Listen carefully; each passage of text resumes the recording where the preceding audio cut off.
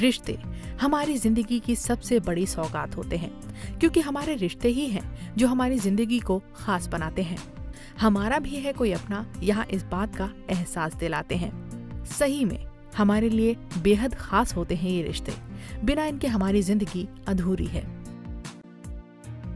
ये रिश्ते हैं जो हमारी ज़िंदगी को खूबसूरत बनाते हैं, या हम उसे इन्हीं के थ्रू बदसूरत बनाते हैं। रिश्तों से हमारी ज़िंदगी जो है बहुत बहुत अच्छी हो सकती है। क्यों?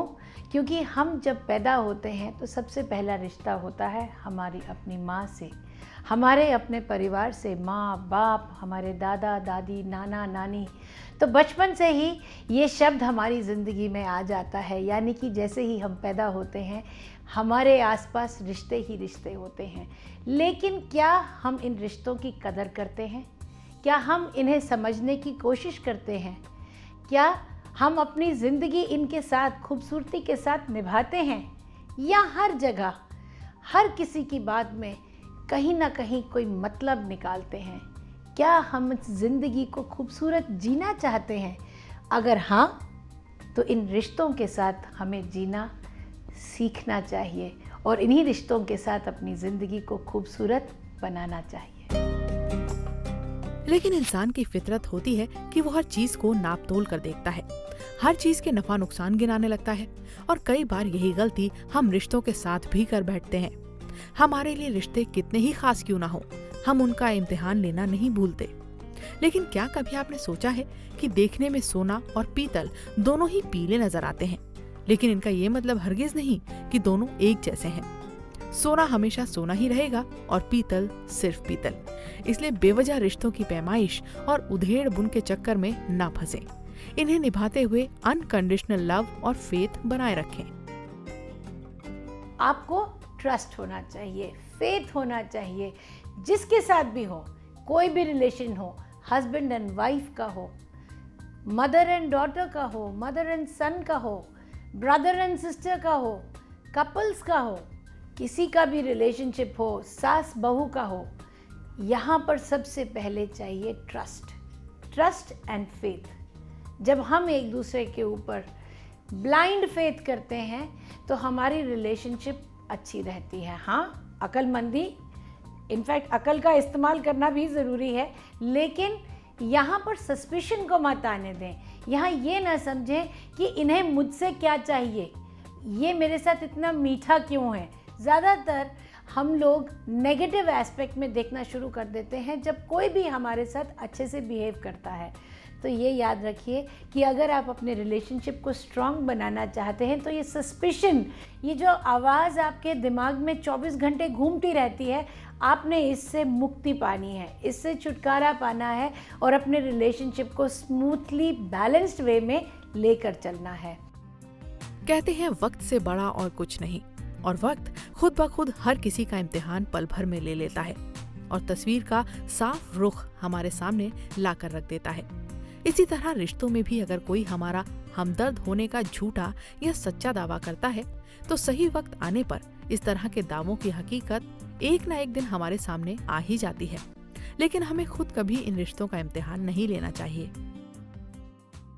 आप जितना सॉफ्ट रहेंगे, जितना हम्बल रहेंगे, उतने आपकी रिलेशनशिप अच्छी रहेगी। हाँ जब आप किसी की हेल्प करते हैं तो ये अगर आपका नेचर है तो आप आउट ऑफ़ द वे भी जाकर किसी को मदद करते हैं, जब भी उनकी ज़रूरत होती है। लेकिन अगर आप ऐसा करते हैं तो ज़रूरी नहीं है कि हर कोई आपके जैसा ही करे। हर इंडिविजुअल की अपनी आइडेंटिटी है, अपना थॉट प्रोसेस है, और वो अपने थॉट प्रोसेस के साथ ही चलता है। हो सकता है आप हर टाइम किसी के भी बुरे वक्त में हमेशा साथ देते हैं। और आप अब ये सोचते हैं कि जब मेरा भी वक्त आएगा, जब मेरे साथ भी कोई, मेरे सिर पर कोई मुसीबत पड़ेगी तो शायद ये लोग भी मेरी ही मदद करेंगे। मैं कहूँगी, ये शायद शब्द तो आपके शायद दिमाग में आता भी नहीं होगा। आपके अंदर एक एक्सपेक्टेशन आ जाती होगी कि हाँ ये लोग भी मेरे बुरे वक्त में मेरे साथ रहेंगे। ज़रूरी नहीं है। हो सकता है जब आपका बुरा वक्त हो तो आपके पास कोई ना हो। इस चीज़ से अपना मन मेला ना करें। बुरा ना माने कि कोई आपके पास नहीं आया जब आपको ज़रूरत थी। आमतौर पर देखा जाता है कि घर में सास अपनी बहू का थोड़े थोड़े समय पर इम्तिहान लेती है और ये देखना चाहती है कि उसकी बहू अपने रिश्तों और जिम्मेदारियों को कितनी संजीदगी से निभा रही है। इसके लिए कई बार वो जानबूझकर अपनी बेटी और बहू के बीच कोई न कोई मुश्किल स्थिति पैदा कर देती है। आप ऐसा बिल्कुल भी ना करें क्योंकि जिस दिन भी बहू को पता लगा कि आप बेवजह ही उसके सामने अपनी झूठी परेशानी रख रही हैं या रिश्तों का इम्तिहान ले रही हैं, तो यकीन मानिए भले ही वो आपके सामने आपसे कुछ भी ना कहे लेकिन अंदर ही अंदर दिल से वो आपसे दूर होती चली जाएगी और आपकी बातों को तवज्जो देना कम कर देगी। क्या आप ऐसा चाहेंगी? नहीं ना? अगर कोई भी, किसी भी कारण आपसे यू नो बात करता है और ढंग से बात नहीं करता, आप जब, आप कुछ भी कर रहे हो, कुछ पूछ रहे हो और आपको सही ढंग से जवाब नहीं दे रहा तो हो सकता है उसके मन में कोई बात हो या वो किसी कारण आपसे लड़ना चाह रहा है, किसी कारण दो रिलेशनशिप्स को ख़राब करना चाह रहा है, समझिए। और अगर आपको दिखाई दे रहा है और आप मन ही मन जानते हैं कि आप कहीं पर भी गलत नहीं हैं तो धीरे धीरे करके उस इंसान से ही हटना शुरू कर दें जो ऐसे कर रहा है। इसी तरह अगर आपको लगता है कि आप तो पूरी शिद्दत के साथ अपने रिश्तों को निभा रहे हैं, लेकिन सामने वाला आपको चेक करने के लिए झूठे बहाने बनाते हुए आपके साथ बने रिश्तों का इम्तिहान ले रहा है तो ऐसे में बेहद ज़रूरी है कि आप उनसे सीधे बात करें और उन्हें समझाएँ कि ऐसा करने से आपके रिश्तों पर किस तरह का असर पड़ता है। चुपचाप साइलेंटली पीछे हटना शुरू कर दें। इससे आप अपनी रिलेशनशिप्स में सारनेस नहीं लेकर आएँगे। रिलेशनशिप्स को अच्छा रखना या बुरा बनाना, ये आप ही के हाथ में है, किसी और के हाथ में नहीं। तो अपने रिलेशनशिप्स को हमेशा स्ट्रांग रखिए, क्योंकि यही कल को आपके काम आते हैं। रिश्ते बनाना आसान है, उन्हें तोड़ना और भी आसान। लेकिन मुश्किल है तो उन्हें सच्चे दिल से अच्छी तरह निभाना। सच्चे रिश्ते किस्मत से मिलते हैं। इसीलिए इन्हें इम्तिहान की शर्त से ना बांधें।